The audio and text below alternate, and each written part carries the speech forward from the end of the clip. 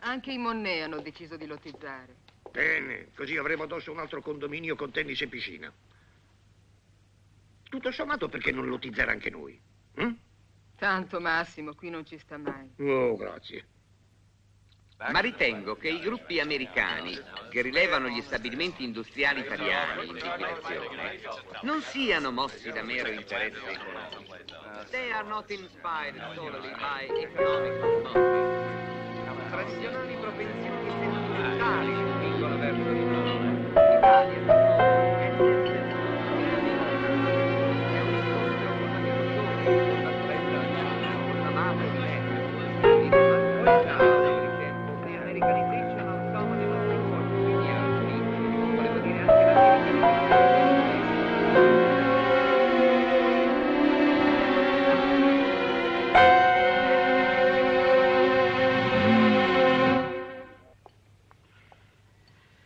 Riso, scaloppine, vino.